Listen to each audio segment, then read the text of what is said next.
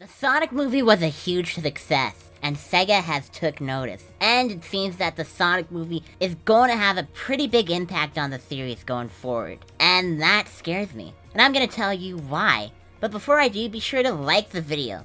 Also subscribe if you have not already. Alright, from here on out, I'm just going to say what comes to me, so sorry if I ramble on a lot. So how do I know that the Sonic movie is going to have, and kind of already does have, a big impact on the main series?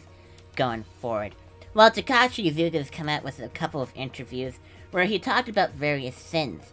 He talked about the Sonic movie, Sonic Colors Ultimate, and Sonic Origins. Well, he didn't call it Sonic, not Sonic Origins, Sonic Rangers. But I'm gonna be focused on what he said about the Sonic movie and Sonic Colors specifically. So he was talking to Famitsu, and he was really talking about the Sonic movie and how it was a big success and it was a big success while being surprised both Sega and Paramount. And he was talking about how the movie was really directed towards families. And a lot of families went out and watched this movie. And basically, dads and moms showed their kids what Sonic was. And looking at the movie itself, this movie was basically directed, well not directed, but I'd say it was aimed around to kids, maybe ages 6 to 11 around that age. So, the Sonic movie, big success, directed really towards kids a lot. And Takashi Iizuka took note of that. He spoke about how most Sonic fans nowadays are either in their 20s around or 30. But the movie has basically came and changed the age range of new Sonic fans. So, new Sonic fans went from maybe being teenagers to adults to basically being kids just from the Sonic movie alone. And Takashi Iizuka and probably Sega have took notice of this. So, I guess basically one of the main reasons Sonic Colors is getting the Ultimate treatment with Sonic Colors Ultimate, the, the remaster, is because of the Sonic movie. Now, these two sins are kind of similar. Sonic Colors came out after basically Sonic, people said Sonic took himself way too seriously, too many playable characters, and people just wanted Sonic to have a brand new fresh start and just be like the classic Sonic games again. So then they made Sonic Colors. The game did not take itself seriously, was aimed really towards kids, and it did not have any of Sonic's friends. And I, what I want you to take away from that is that it was aimed towards kids. Like the Sonic movie, it's probably aimed towards kids around 6 to 11 years old. Sonic movie comes out 10 years later, and basically is doing the exact same thing. It's marketing itself, it's aiming itself towards kids around like 6 to 11. So, Sega and probably Takashi Iizuka seeing these brand new fans that are super young, and they want to give them a game to play that would suit them. Be kiddie like them. And what is a Sonic game that's pretty kiddie? Sonic Colors. That is probably the most kittiest Sonic game out. And you could argue Sonic Lost World is a little kiddie, even though they tried and put some serious moments in it, but I guess they think Sonic Colors is the more kiddie. And not just it being kiddie.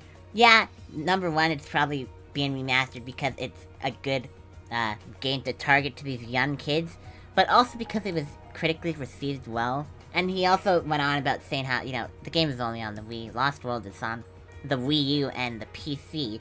I got the PC port of Sonic Lost World. It is horrible, by the way. Horribly optimized. But I'm not talking about that, I'm talking about Sonic Colors Ultimate. So, like, we already see the impact the movie has been having right now on the main series. They are seeming to go into a kids-focused direction. So, like I said, the similarities between Sonic Colors and the Sonic movie, they're both aimed towards kids. So, with all this aiming towards kids, what does this mean for the future of Sonic? That's what I want to try and speculate upon.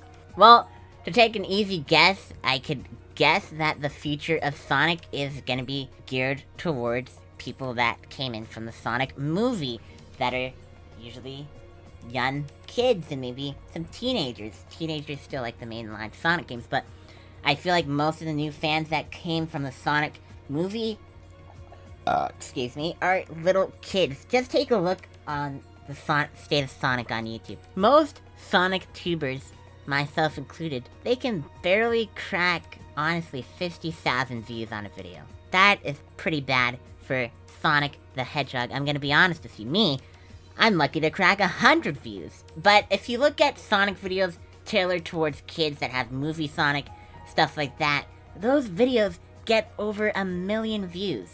That could be because kid videos on YouTube are, they get a lot of views, but the fact that they're Sonic videos, kid Sonic videos, they get a lot of views. And maybe Sega is seeing this too, and they're like, why are we marketing ourselves? Why are we targeting these Sonic games to the fans that have sticked with us through, honestly, thick and through, bad times, stuff like that? Why appeal to our fans that have been loyal to us? And why don't we just target the kids and these new people that are coming into the that are coming into the series from the Sonic movie? And I feel like this is happening. It's basically happening as we speak right now with Sonic Colors Ultimate. That kid or not that kid. The game is really kiddie focused, aimed towards kids. So the fact that they're re-releasing it, I'm gonna read a quote uh, from Takashi Iizuka. I'd like to recommend Sonic Colors Ultimate as the ideal Sonic to get into the series for those who got to meet Sonic through the movie. And who were most of the people that got into the Sonic franchise from the movie? Kids, kids that are like 6 to 11 years old. And what was the main demographic when they were making Sonic Colors in the story? The exact same demographic. So, we're seeing the effects of this movie on the franchise right now. Uh, basically, just having a more kiddie focus for Sonic. And could this be happening the same thing as Rangers? Are they going to make it really kiddie? Or are they going to make it a little gritty and serious like they did with Sonic Forces? We don't know. We'll have to wait and see. And, you know, that really just scares me. It scares me that they would just basically do 180 after Sonic Forces. Well, I'm not saying they are going to do this with Sonic Rangers, but Sonic Colors Ultimate, Takashi Iizuka literally said he wants this game to be ideal for people that have gotten into the series from the Sonic movie. And are, is he going to make decisions like this in the future for these people that have gotten into the Sonic franchise from the Sonic movie? I don't know, but I have a feeling this can actually happen, and that scares me. Because I don't want Sonic to be a kiddie kiddie franchise, because Sonic has that cool attitude about him. And I feel like if they just take it into a direction to just suit kids and just be a kid franchise, which you can argue Sonic is a kid's franchise, but I feel like it's more than a kid's franchise. It's just, it's got the attitude, it's got the sass, stuff like that, and if we just go in a kiddie direction, I just feel like it's not to be for the best, and it's to really scare me, because it's like, well, they're just not targeting me anymore. But were they ever targeting me? I don't know, but bottom line, it is scaring me because we're seeing this happen with Sonic Colors Ultimate, and I just don't want Sonic to go down the road of kiddie kiddie. Do you think the same as me, or do you think the impact the Sonic movie is seeming to have on the main series is a good thing? Tell me in the comments, and if you enjoyed the video, well, consider giving it a like, Subscribe to my channel if you haven't already, and when you do, turn on notifications so you never miss an upload. Alright, hope you had a great day. See ya!